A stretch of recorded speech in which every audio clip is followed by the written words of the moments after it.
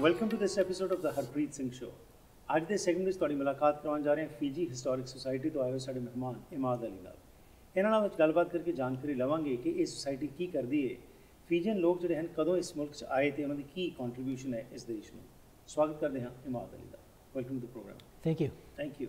Fiji Historic Society. Tell us you're a member of this society. What is this? What does this society do? Yeah, it's an international society of uh, members from across uh, actually the globe, Okay. uh, mainly from the Fijian diaspora, but not, not just from. Right. And uh, it's those of us who are interested in the history of Fiji. It's fascinating history. Mm-hmm. And uh, what we do is we communicate online and we get archives and we travel and uh, to come together to really share this history so we can share it with future generations. Oh, that's wonderful. So it's just confined to BC or it's a Canadian-wide uh, society? It's actually, uh, we have members uh, here in BC, but uh, a lot of people from New Zealand, Australia, the Okay. UK, and we communicate as well. Oh, that's wonderful.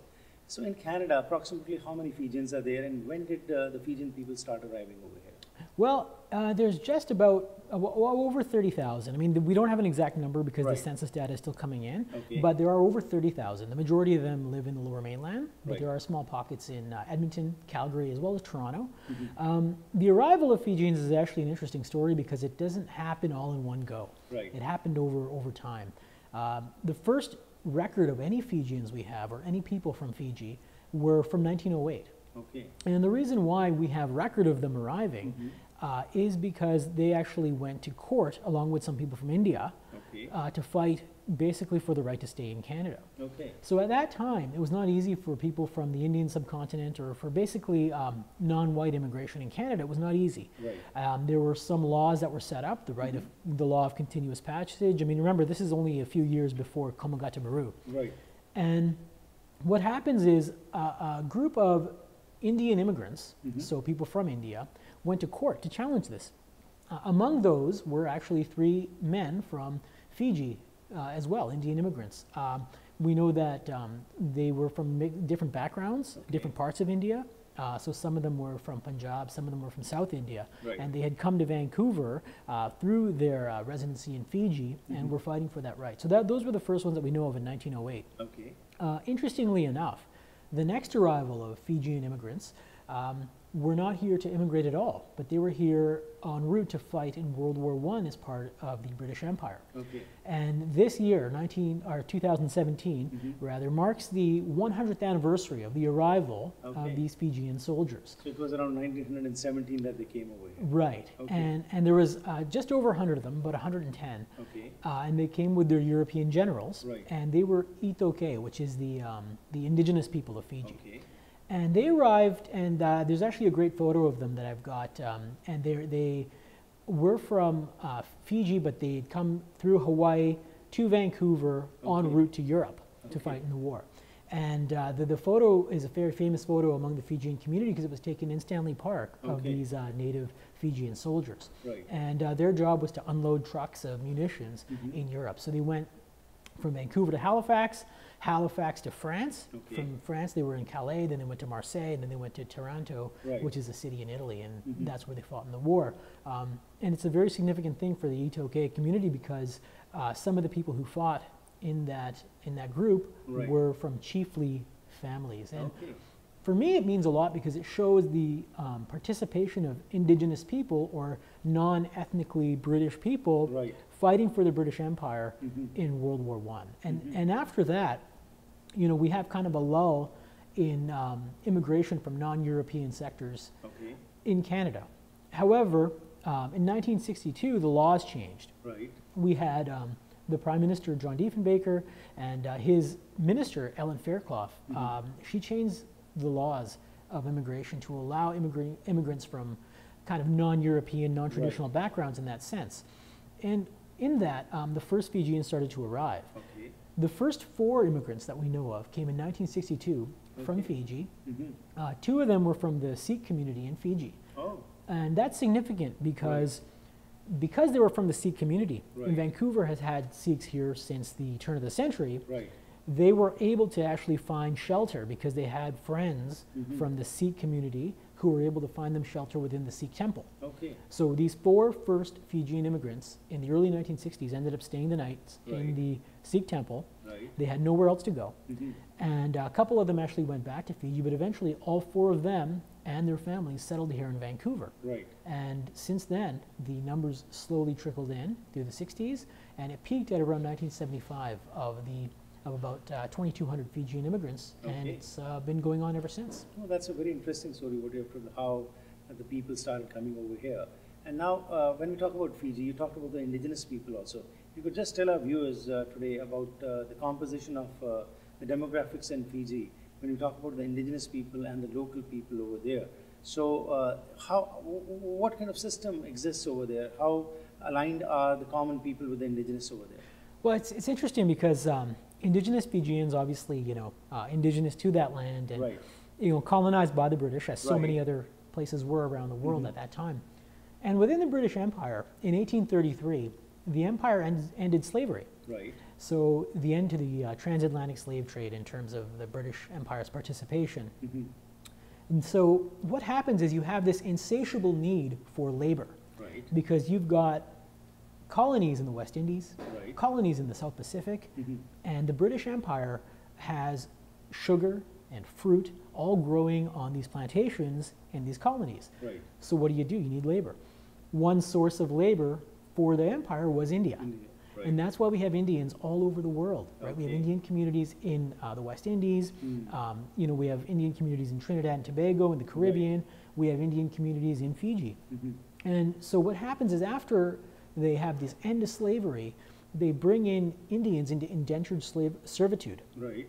So it's not the same as slavery, but some people consider it, some historians consider it kind of quasi-slavery. Yeah.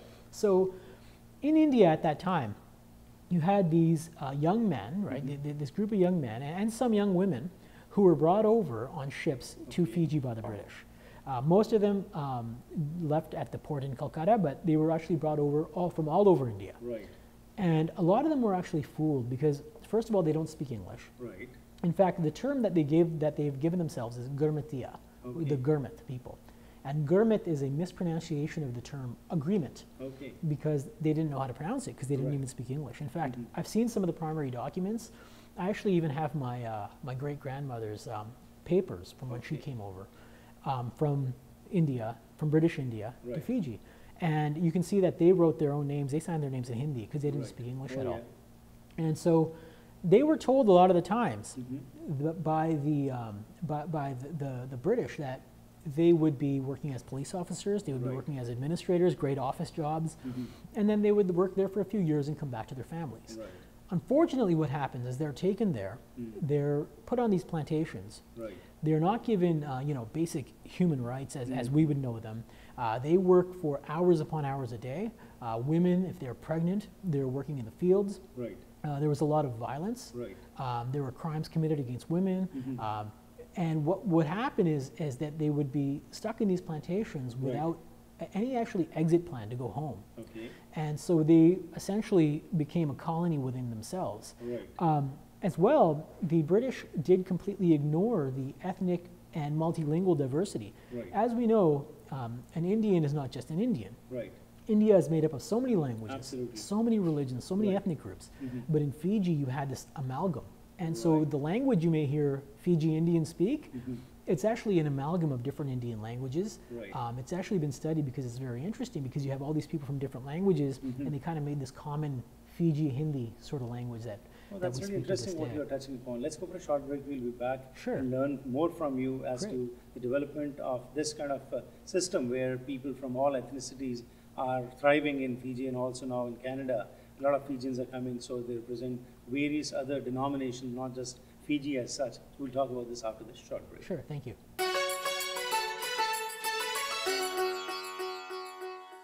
ਉਹ ਵਾਹ ਬਈ ਵਾਹ ਕਮਾਲ ਕਰਤੀ ਮਿਲਸਟ੍ਰੀਮ ਆਟਾ ਵਾਲਿਆਂ ਨੇ। ਆ ਮਿਲਸਟ੍ਰੀਮ ਮਲਟੀਗ੍ਰੇਨ ਆਟਾ ਦੀ ਨਵੀਂ ਪੈਕਿੰਗ ਤਾਂ ਬਹੁਤ ਹੀ ਵਧੀਆ ਆ ਜਿਸ ਵਿੱਚ ਹੈ ਬ੍ਰਾਊਨ ਕਣਕ ਕਾਲਾ ਚਨਾ ਸੋਇਆਬੀਨ ਬਾਜਰਾ ਅਤੇ ਅਲਸੀ। ਇਹ ਸਭ ਚੀਜ਼ਾਂ ਤੁਹਾਡੀ ਸ਼ੂਗਰ ਨੂੰ ਕੰਟਰੋਲ ਕਰਨ ਵਿੱਚ ਬਹੁਤ ਹੀ ਲਾਭਦਾਇਕ ਹਨ। ਹਾਂਜੀ ਹੁਣ ਮਿਲਸਟ੍ਰੀਮ ਆਟਾ ਲੈ ਕੇ ਆਇਆ ਹੈ ਮਲਟੀਗ੍ਰੇਨ ਆਟਾ ਉਹ ਵੀ ਬਿਲਕੁਲ ਨਵੀਂ ਪੈਕਿੰਗ ਵਿੱਚ।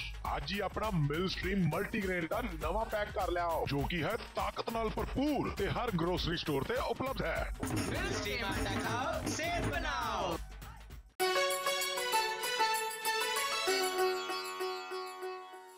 ਸਵਾਗਤ ਕਰਦੇ ਹਾਂ ਜੀ ਇੱਕ ਵਾਰ ਫਿਰ ਆਪ ਸਭ ਦਾ ਅੱਜ ਦੇ ਇਸ ਪ੍ਰੋਗਰਾਮ ਵਿੱਚ। ਇਮਾਦ ਅਲੀ ਅੱਜ ਸਾਡੇ ਨਾਲ ਸਾਂਝ ਪਾ ਰਹੇ ਨੇ, ਜੋ ਫੀਜੀਅਨਸ ਦੀ ਹਿਸਟਰੀ ਹੈ, ਉਸ ਦੇ ਬਾਰੇ ਡਿਸਕ੍ਰਿਪਸ਼ਨ ਦੇ ਰਹੇ ਨੇ।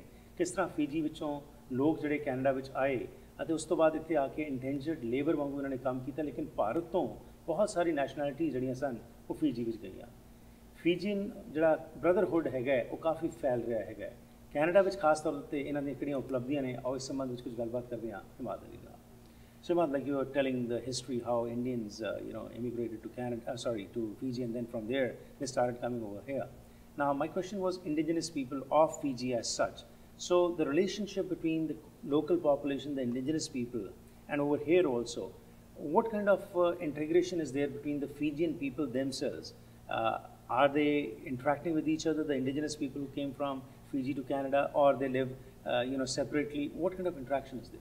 Uh, well, as far as the indigenous people who uh, have come from Fiji to Canada, Right. um, I am happy to say that there is an integrated diaspora here. So you Okay. have uh, people who moved from Fiji. Um, uh, who are who are of the indigenous population as well as those who are from the Indian community in Fiji, Right. and they do have um, a, a lot of different uh, communications, different um, organizations who work together. Uh, they come together for sports a lot Right.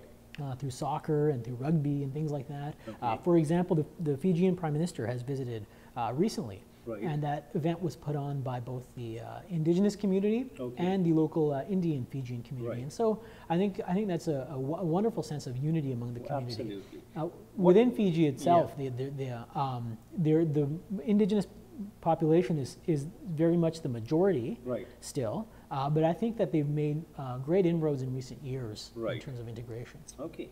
And as far as the achievements of the Fijians are concerned in Canada, Yeah. uh, can you elaborate on that? You talked about soccer, you know, uh, that the sport which unites all the Fijians. They're very, uh, they're very much uh, into this game. Uh, what are the achievements of the Fijians in Canada which you are proud of?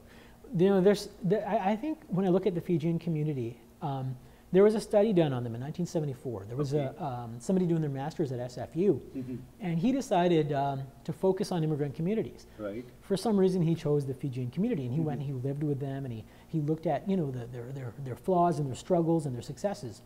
And one thing that was interesting was that within six years of moving to Canada, the majority of them, despite coming from you know a relatively poor background at the time, without a lot of resources, with a lot of family here, Right. they bought homes in the Lower Mainland. So immediately they started establishing communities. Right. Um, but the, the proudest thing for me is that Fijian communi- Canadians have integrated themselves in all facets of Canadian life. Right. So, uh, if you look at, for example, the um, head librarian, the chief librarian of the city of Vancouver right now, is from the uh, Fijian uh, community. Okay. Right, she's part Fijian. Uh, Right. We have uh, Fijian broadcasters on CBC. Right. Uh, we've got Fijian uh, members of the RCMP. Mm-hmm. Um, I know of, uh, of Fijians who serve in the Canadian military Right. very proudly. Um, Bobby Singh is, uh, is uh, from a Fijian background.